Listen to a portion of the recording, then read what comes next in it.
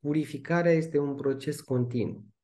A vrea să ajungi la acest uh, sentiment de purificare, care de fapt înseamnă o elevare spirituală, înseamnă o curățenie a corpului energetic, o curățenie a chakrelor, dar în același timp și o curățenie a vieții tale aici pe pământ. Este un proces continuu, permanent, de care trebuie să ne îngrijim. Asta înseamnă că trebuie să avem grijă cu ce oameni interacționăm, pe cine alegem în viața noastră, ce gânduri lăsăm să intre în mintea noastră, cât de manipulați sau nemanipulați suntem, ce citim, ce ascultăm și, în primul rând, și chiar și ceea ce mâncăm, să știi, pentru că și asta contează foarte mult. Dar purificarea trebuie să înceapă cu conștientizare.